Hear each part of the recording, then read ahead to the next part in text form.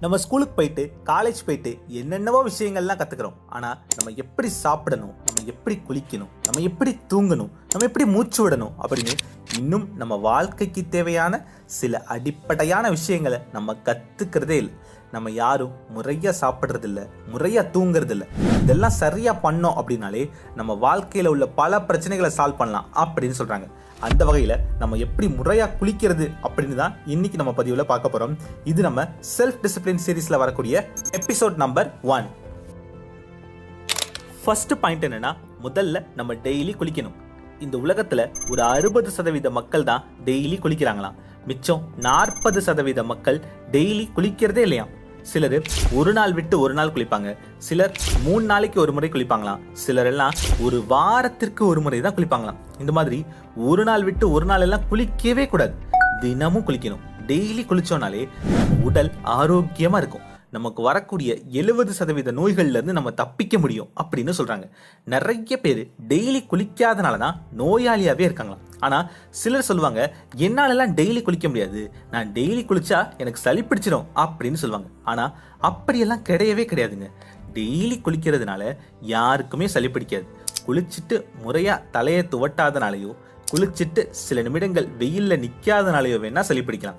உங்கள் உடலை துடைப்பதற்கு உங்கள் தலையை துவட்டுவதற்கு அப்படின்னு ரெண்டு தனித்தனி துண்டு வச்சுக்கோங்க.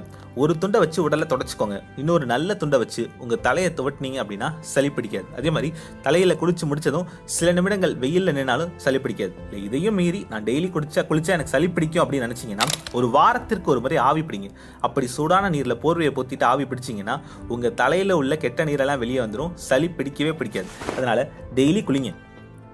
அதே மாதிரி இன்னும் சிலர் நான் டெய்லி குளிப்பேன் ஆனா மூணு நாளைக்கு ஒரு முறை தான் தலை வழியா குளிப்பேன். மற்ற நாளெல்லாம் கழுத்து வழியா தான் குளிப்பேன் அப்படின்னு சொல்லுவாங்க. தலையில தண்ணி ஊத்தாம வெறும் கழுத்துல மட்டும் தண்ணி ஊத்தி குளிக்கிறது அதுக்கு பேர் குளியலே கிடையாது. வெறும் ஒரு ஈரத்துணியால உங்க உடம்பை துடைப்பதற்கு சமம். நோயாளிகள் தான் இந்த மாதிரி பண்ணுவாங்க. குளித்தல் அப்படின்னாலே தலைவலியா குளிக்கிறது தான். அதனால தினமுமே தலைவலியா குளிங்க குளித்தல் அப்படின்னா என்னன்னா குளிர்வித்தல் அப்படின்னு பேர். அதாவது நம்முடைய உடலை குளிர்வித்தல். அதை தான் காலப்போக்கில் மருவி குளித்தல் அப்படின்னு மாறி இருக்கு. இப்போ எப்படி அமைந்த கரை அப்படின்ற பேரு அமைஞ்சி கரையாக மாறிச்சோ பல்லவபுரம் அப்படின்ற பேர் பலாவரமாக மாறிச்சோ குளிர்வித்தல் மருவி குளித்தலாக மாறி இருக்கும் நம்ம உடலை குளிர்விக்கணும் அப்படின்னா அப்போ நம்ம தினமும் தலைவலியாக குளிக்கணும். அதுதான் சரியான முறை. சரி மூணாவது பாயிண்ட் எப்போ குளிக்கணும்?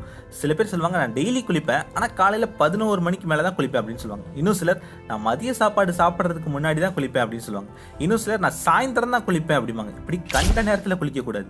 முடிந்தவரை உங்களுடைய காலை உணவுக்கு முன்னாடி நீங்கள் குளிச்சிடணும் காலை உணவு. பிரேக்ஃபாஸ்ட் சாப்பிட்றதுக்கு முன்னாடி குளிச்சுட்டு தான் பிரேக்ஃபாஸ்ட்டே சாப்பிடணும். இன்னும் சிலர் காலையில் எழுந்த உடனே பல்லு விளக்கிட்டு காலை கடன்கள்லாம் முழிச்சிட்டு குளிக்கிறத முதல் வழக்கமாக வச்சுருப்பாங்க. குளித்த பிறகு தான் அவங்க டீயோ காஃபியோ சாப்பிடுவாங்க. குளிக்காமல் பச்சை தண்ணி கூட பல்ல படாது அப்படிம்பாங்க. இந்த மாதிரி காலையில் எழுந்த உடனேலாம் நீங்கள் குளிக்கலைனாலும் பரவாயில்ல.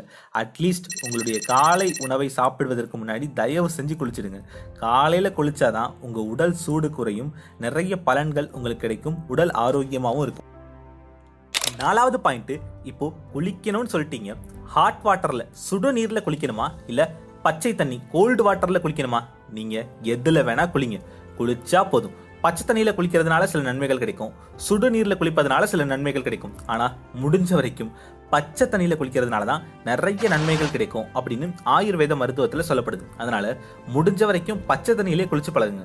ஒருவேளை நீங்கள் இருக்கக்கூடிய இடம் அதிகமாக மழை பெய்யக்கூடிய இடம் எப்போவுமே குளிரும். இல்லைன்னா நான் கொஞ்சம் அதிகாலையிலே சீக்கிரமே எந்திரிச்சு குளிச்சிருவேன். அந்த டயத்தில் தண்ணி ரொம்ப ஜில்லுன்னு இருக்கும் அப்படின்னா சுடு குளிக்கலாம். ஆனால் பச்சை தண்ணியில் குளித்தாதான் நிறைய நல்லது. அதே நேரத்தில் நீங்கள் ரெகுலராக பச்சை தண்ணியில் சாதாரண கோல்ட் வாட்டரில் குளிக்கிறவங்களா இருந்தால் கூட வாரத்தில் ஒரு நாளோ இல்லை ரெண்டு வாரத்துக்கு ஒரு நாளோ ஹாட் வாட்டரில் குளிக்கிறது நல்லது. அந்த மாதிரி சுடு நீரில் குளிக்கும்போது உங்களுடைய மூட்டுக்கள் தசைகளுக்கெல்லாம் இன்னும் ரத்த ஓட்டம் அதிகரித்து புது புத்துணர்வு உங்கள் கால்களுக்கும் உடலுக்கும் கிடைக்கும்.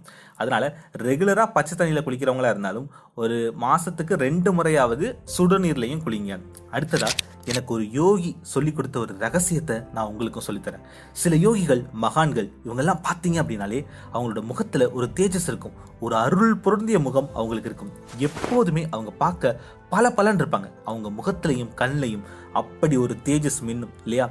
இந்த மாதிரி இருக்கணும்னா என்ன பண்ணணும்? அப்படின்னு கேட்டதுக்கு ஒரு யோகி என்ன சொன்னார்னா நம்ம குளிக்க போகிற வாளிலேயோ இல்லை டப்புலையோ விளிம்பு வரைக்கும் தண்ணி பிடிச்சு வச்சுக்கோங்க. தண்ணி பிடிச்சு வச்சுட்டு வெறும் கையால் உங்களுடைய ஆள்காட்டி விரலால அப்படியே அந்த தண்ணியில ஓம் அப்படின்னு எழுதுங்க. இதே போல ஓம் ஓம் ஓம் அப்படின்னு மூணு முறை எழுதிட்டு அதுக்கப்புறமா அந்த தண்ணியை எடுத்துக்கொள்ளுங்க. இந்த தண்ணீர்ல உள்ள காந்த சக்தியும் இந்த தண்ணீர்ல உள்ள பிரபஞ்ச சக்தியும் என் உடல்ல பட்டு என் உடல் ஒரு புது பொலிவுடன் ஒரு தேஜஸோடு இருக்கும். அப்படின்னு நினைச்சிட்டு அந்த தண்ணியை மேல ஊத்துனீங்க அப்படின்னா அந்த தண்ணியில் இருக்கக்கூடிய காந்த சக்தி உங்கள் உடலுக்குள்ளே பாயும் அப்படின்னு அவர் சொன்னார். இது உண்மையா பொய்யா? அப்படிலாம் நீங்கள் ஆராய வேணாம். ஆனால் இதை பண்ணுறதுனால நம்ம ஒன்றும் கெட்டு போக போகிறது இல்லையே. நீங்கள் குளிக்க போகிறதுக்கு முன்னாடி அந்த தண்ணியில் ஓம் அப்படின்னு மூணு முறை எழுதிட்டு குளிச்சு பாருங்க. இப்படியே தொண்ணூறு நாள் தொடர்ச்சியாக செஞ்ச பிறகு கண்டிப்பாக உங்களுடைய முகமும் உடலும் ஒரு யோகிகளின் உடலைப் போல பல பலன்னு மின்ன ஆரம்பிக்கும். அடுத்தது ஆறாவது பாயிண்ட். எப்படி குளிக்கணும்? அதாவது முதல்ல தலையிலேருந்து தண்ணி ஊற்றி தான் குளிக்கணுமா? இல்லை கால்ல இருந்து தண்ணி ஊற்றி குளிக்கணுமா? நிறைய பேர் எடுத்த உடனேயே தலையில தண்ணி ஊத்துறத வழக்கமா வச்சிருக்காங்க. ஆனால் அது தவறானது.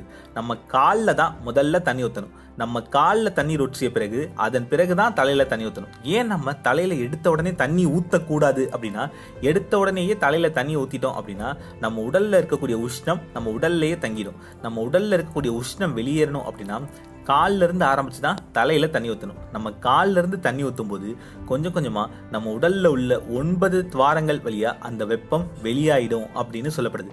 கொஞ்சம் கொஞ்சமாக கால்ல ஆரம்பித்து கடைசியாக தலையில் தண்ணி ஊற்றும் போது உங்களுடைய காதுலேருந்து ஹீட் வெளியாகிறத நீங்கள் கண் கூட பார்ப்பீங்க. உங்கள் உடல் குளிர்வதை கண் கூட பார்ப்பீங்க. அதனால் எடுத்த உடனே தலையில் தண்ணி ஊற்றாதீங்க காலில் இருந்து தண்ணி ஊற்றுங்க அதாவது காலில் இருந்து ஆரம்பிக்கணும். முதல்ல உங்களுடைய பெருவிரல் கால் பாதங்களில் தண்ணி ஊற்றணும் அதுக்கு பிறகு உங்களுடைய முழங்காலில் தண்ணி ஊற்றணும் அப்புறம் தொடைகள். அப்புறம் உங்கள் வயிற்று பகுதி மேலே. அதன் பிறகு உங்களுடைய இடது தோள்பட்டையில் தண்ணி ஊற்றணும் அப்புறம் உங்களுடைய வலது தோள்பட்டையில் தண்ணி ஊற்றிய பிறகு திரும்ப உங்களுடைய இடது மண்டையில் தண்ணி ஊற்ற ஊற்றணும் அப்புறம் உங்களுடைய வலது மண்டையில் தண்ணி ஊற்றணும் அதன் பிறகு தான் உங்களுடைய உச்ச தண்ணி ஊற்றணும் பிறகு கடைசியாக உங்களுடைய வெளிப்புற காது பக்கம் தண்ணி ஊற்றணும் இந்த மாதிரி குளிக்க ஆரம்பிக்கும் போது உங்களுடைய காதுகள்லிருந்து முழு உஷ்ணமும் வெளியேறி உங்கள் உடல் குளிர்விக்கப்படும்.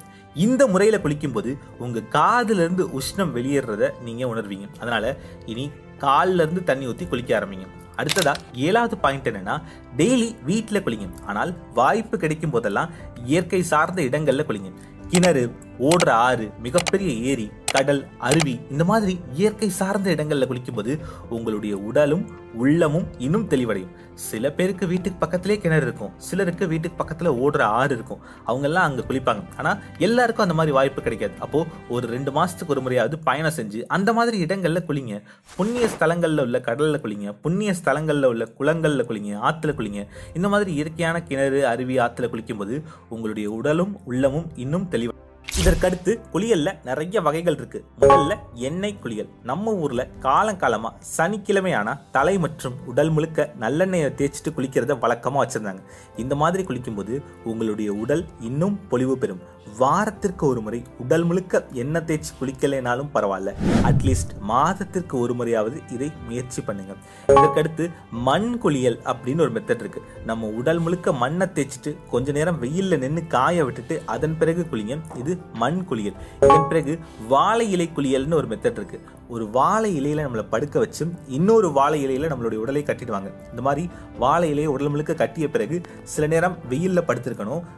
அதிகாலை வெயிலில் படுத்திருக்கணும். நம்ம உடலில் உள்ள கெட்ட நீரெல்லாம் வெளியேறும். இதற்கு வாழை இலை குளியல்னு பேர். இது போல் நிறைய ஆயுர்வேத குளியல் முறைகள் இருக்கு. மண் குளியல் வாழை இலை குளியல் நீராவி குளியல் அப்படின்னு. இந்த மாதிரி குளிக்கும்போது நம்ம உடலில் உள்ள கெட்ட நீரெல்லாம் வெளியேறி நம்ம உடல் இன்னும் ஆரோக்கியமாக இருக்கும்.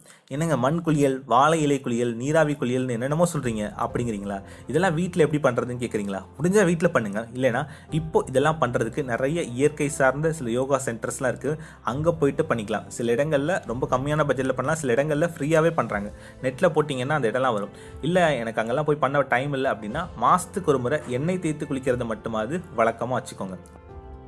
கடைசி பாயிண்ட் என்னன்னா இப்போ சில நேரம் ஒரு பிரச்சனையை நமக்கு எப்படி சால்வ் பண்ணுறது அப்படின்னு நமக்கு அதற்கான சொல்யூஷனே தெரியாது. ஆனால் நீங்கள் பாத்ரூமில் உட்காந்து யோசிச்சீங்க அப்படின்னா அந்த பிரச்சனைக்கு தீர்வு கிடைக்குமா?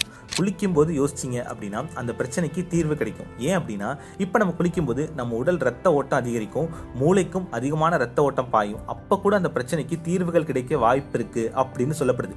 உலகத்தில் உள்ள மிகப்பெரிய அறிவாளிகள் இந்த அனுபவத்தை பகிர்ந்திருக்காங்க. நான் குளிக்கும் போது தான் எனக்கு அந்த யோசனை தோணுச்சு. நான் குளிக்கும் போது தான் எனக்கு எனக்கு அந்த ஐடியா வந்துச்சு.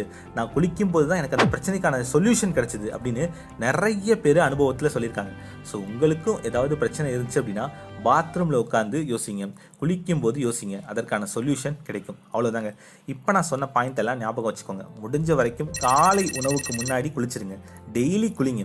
காலிலிருந்து ஆரம்பித்து தலையில் தண்ணி ஊற்றி குளிங்க. இப்படி முறையாக குளிச்சிங்க அப்படின்னாலே உங்களுடைய உடல் ஆரோக்கியம் மேம்படும். ட்ரீம் பிக் அச்சீவ் பிக் என்பதெல்லாம் உயர்வு